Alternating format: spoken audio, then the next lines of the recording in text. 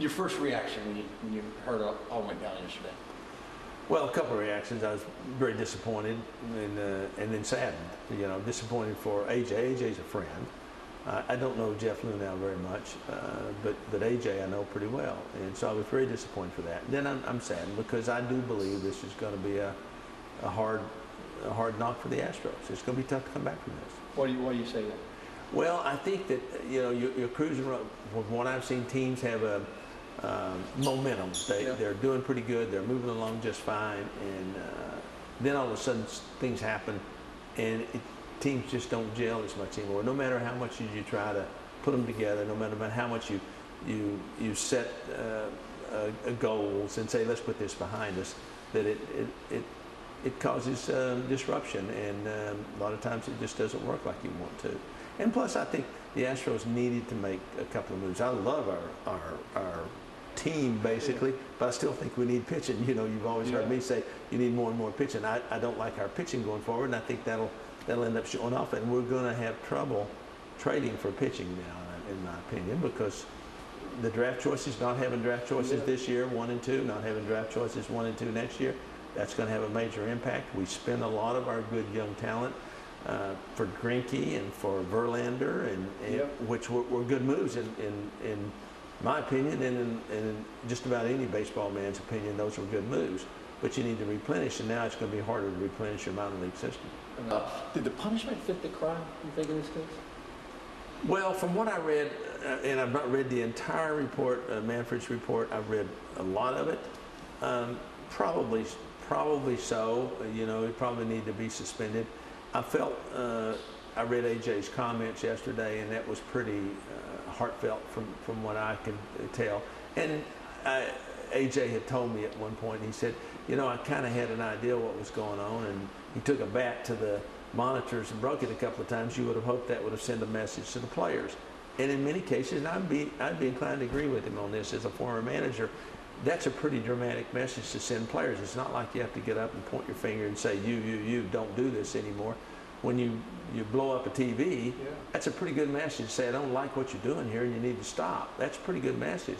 And they didn't stop. Now, AJ says, look, maybe I didn't do enough to stop it. And um, so I'll tip my hat to him for, for uh, taking that on him. But at what point? I mean, if this is going on one day and he put a stop to it, it went on more than that. So, I mean, where, where are you going to stop the line where there's too much and not enough?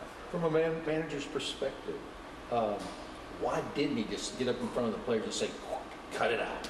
Well, I think there's a lot of there's a, and from my opinion, is there's a lot of dynamics in the clubhouse. Now, at this point on this question, I don't know any more than you do on Yeah. why he didn't do that. I mean, we've never discussed that with him or not. I can only surmise from my own uh, mind why I might not have done it a different way. It's you feel like number one that what you did was sufficient enough that you displayed anger and you took it out on, on a monitor.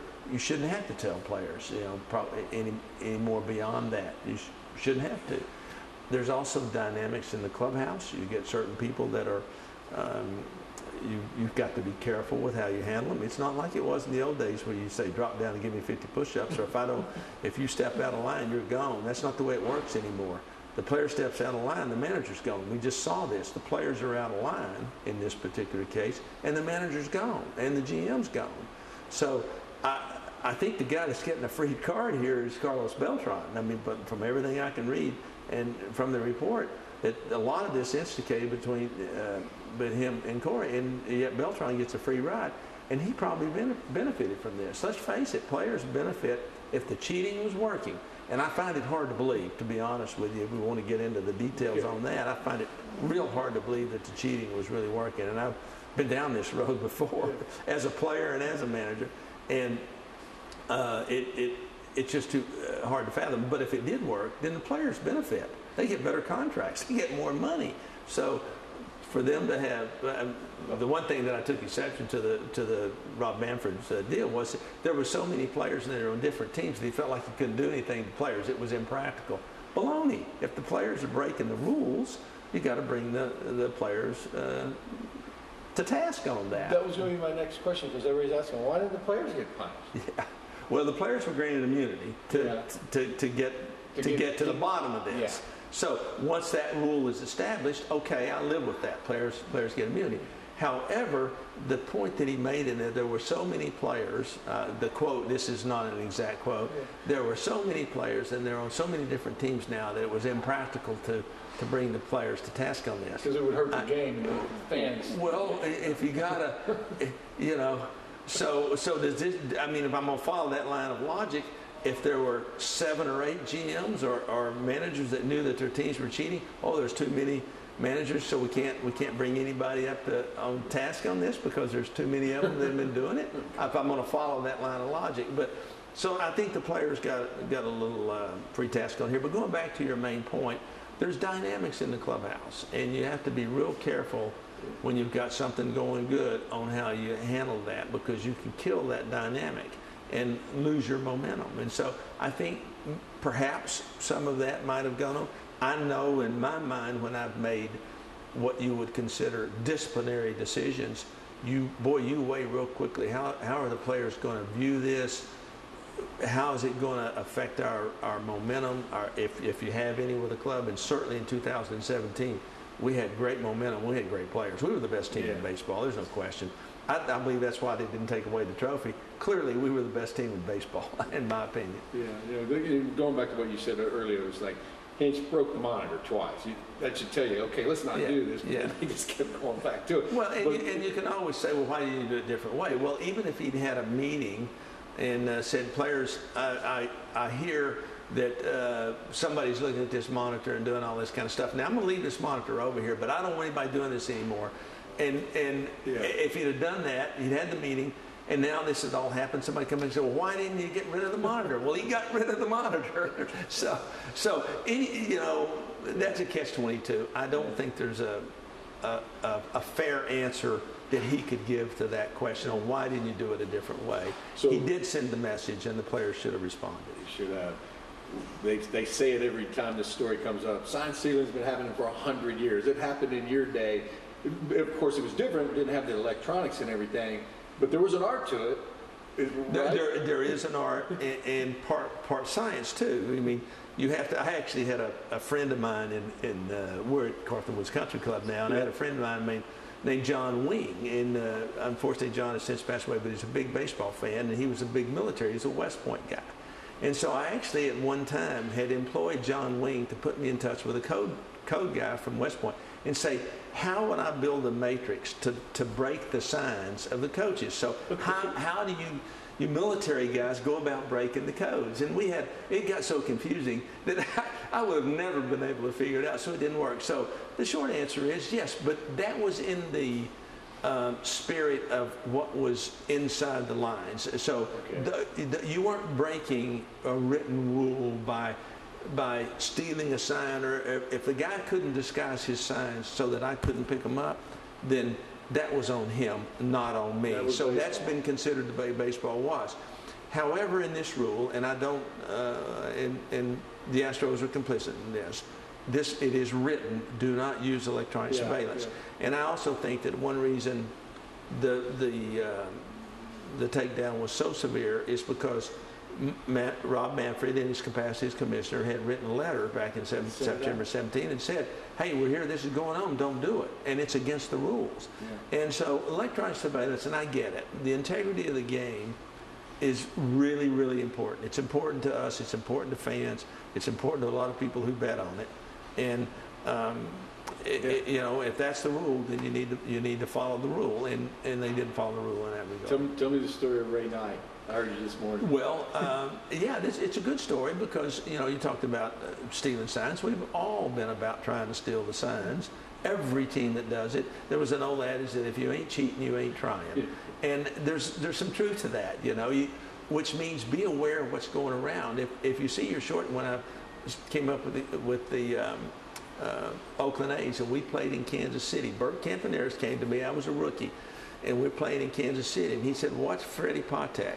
If it's a breaking ball, he'll be on the left side of that seam when you have a right-handed pitcher. If it's a fastball, he'll be on just on the right side of that seam. And he was dead right on, and it was that way for two That's years. just- just watching. And he was just waiting. Now, is he stealing something on that? That's an observation. So yeah, that gave us an edge. And so are you are you supposed to not see that? So if I'm at second base and the catcher puts down one and it's a fastball, and he puts down a two and it's a curveball, am I not supposed to see that? Well, Ray Knight that I played with eh, with, with the Astros was the best I'd ever seen at Steel Science. Now I'd been with a bunch of older players and all that, but Ray was the best. If he was at second base by the third sign, he had the, the communication between pitcher and catcher. He just he just had a knack for it. So he was a code breaker back before there were code, you know, really, really in a true sense. But none of the Astros at the time wanted the sign. Didn't, didn't, wouldn't, wouldn't, wouldn't pick them up Why? because they didn't. It, it messes with their concentration. And in my case, the reason I didn't want it, I tried it. I'm gonna tell you, I'm standing on a moral high ground any more than anybody else. Sure, if Ray had them, I tried it. But if I knew a fastball was coming, it could have been four feet outside. I was swinging because I knew it was coming. I was geared up. So I learned very quickly. This just didn't do me any good. That's the only reason I didn't do it.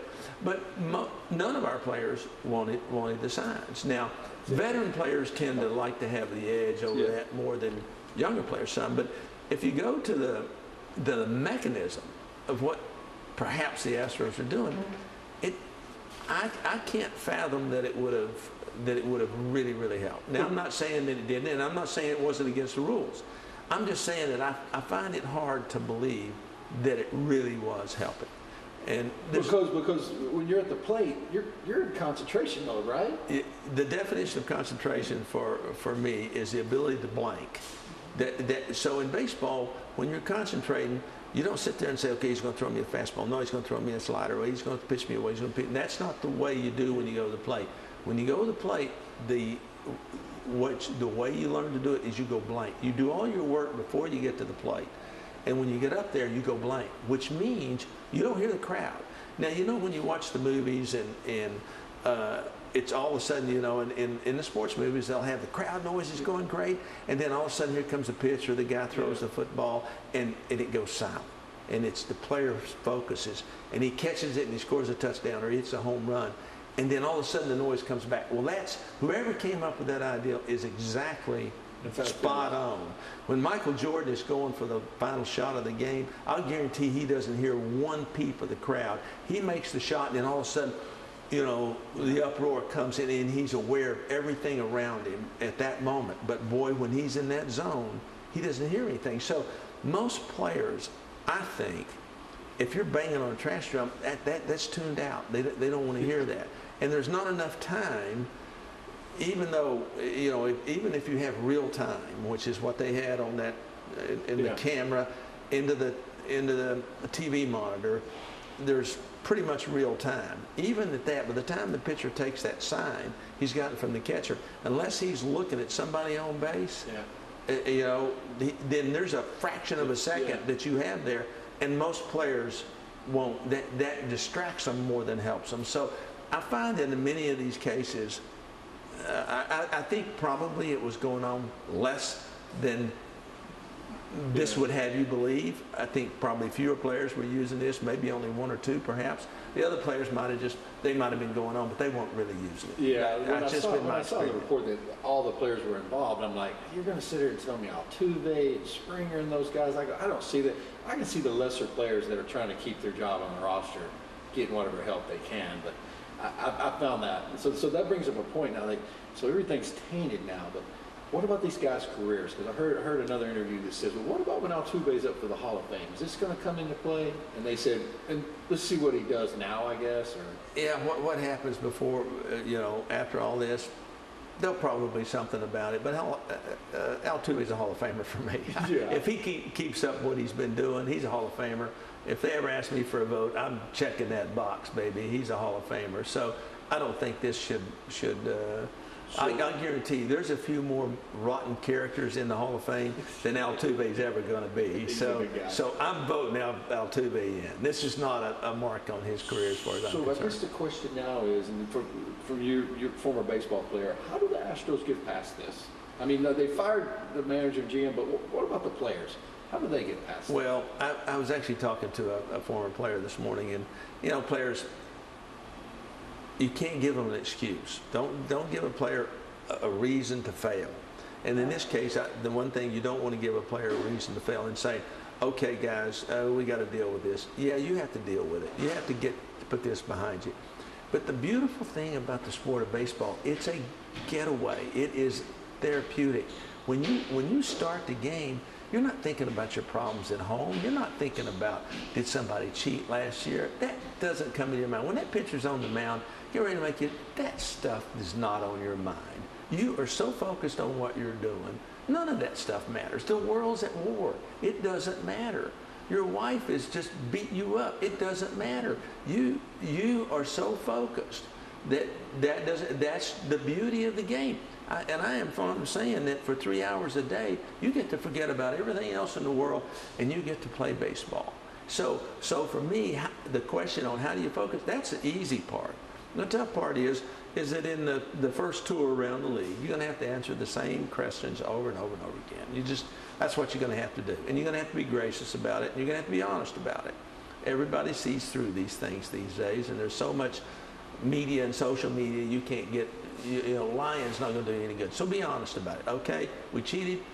We're paying the price, uh, you know, and now this is behind us, and we're going to focus on baseball. But I think the the going to play baseball is the easy part for a manager to do. The tough part's answering all the questions over and over again. Yeah, so uh, you mentioned they, they do need some pitching, so we'll, we'll see how that hashes out. But I'm, I'm thinking this is going to put a big chip on their shoulder. I mean, is this motivation, you think? Let's go out and show them? Could be. Yeah, if, if players react that way, that's a great way to, to be motivated. I've al- often felt that when somehow your team or your players have been slighted in some way or, or, or somebody's said something not very pleasant about you, that's a great motivating tool. It shouldn't be that you cower and go into some corner and give up. So, yes, it could, that could be a powerful motivating tool. So uh, I guess, uh, is it Cordova, the, the bench coach? I don't know. So they got to name somebody manager, and I think he's, he's the bench coach. Espada. What is his name? Espada. Espada, yes, Yeah. Espada. Uh, They say he's a good baseball guy. I don't, I don't know him, but he knows the team, they say, so. Well, he was a bench coach last year, and I think he's probably comfortable with the team. And, and that's one of those decisions that um, you know Crane's going to have to make. But Crane's in transition right now with the Astros.